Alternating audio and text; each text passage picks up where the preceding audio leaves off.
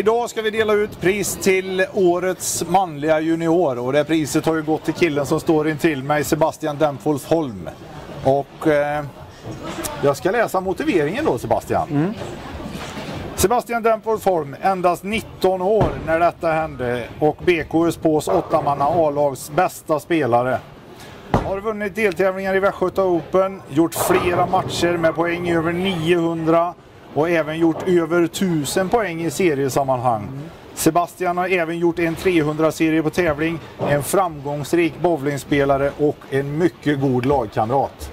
Så vi säger grattis! Tack så jättemycket. Jo, det är nämligen så att jag spelar tvåhands så använder jag bara fingrarna.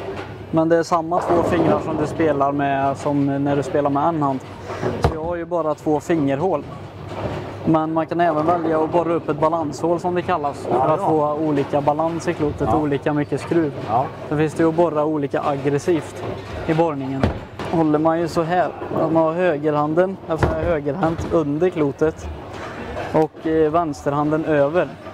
Använder du vänsterhanden någonting för att sätta spinn på klotet eller är det fortfarande högerhanden som sätter spinnen på klotet? Så högerhanden trycker ju mest farten Ja. och det är ju även den som jag vrider mest skulle jag säga. Ja, det. och det är därför jag använder fingrarna väldigt mycket Ja. i högerhanden. Så vänstern är mest, man håller den på plats och så släpper man med lite det sista. Jag faller av liksom men hjälper även till lite grann. Ja.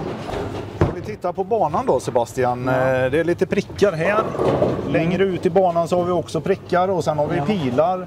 Och ännu längre ner i banan så ser vi det lite mörkare partier i eh, banan också. Kan Ja. du beskriva hur nyttjar du det här när du spelar? Just pilarna som vi ser där framme använder man för att sikta. Och man kallar det för pil 1, 2, 3, 4, 5, 6, 7. Och eh, ja, alltså är jag högerhänt så spelar jag bara på pilarna till höger när jag siktar. För spärrspelet har jag mitt över fjärde pil. Ja, precis. Brukar du... Ja, du sa spärrspelet över fjärde pil, Mm. första slaget. Hur, hur lägger du upp det? Det brukar oftast vara väldigt långt upp till höger så vi snackar första, andra pil någonstans däremellan oftast. Men Ja. i och med att det är olika oljor så kan man behöva spela längre in ibland. Ja. Till och med vid tredje pil. Brukar du justera spelet väldigt mycket under en hel serie? Eller? Ja, under spelets gång, eftersom kloten tar upp olja när det skruvar, så blir det väldigt olika spel så man måste ju flytta. Och då flyttar man ofta i stegen. En två ribbor snackar vi. Det är de här små ribborna mellan punkterna. Ja.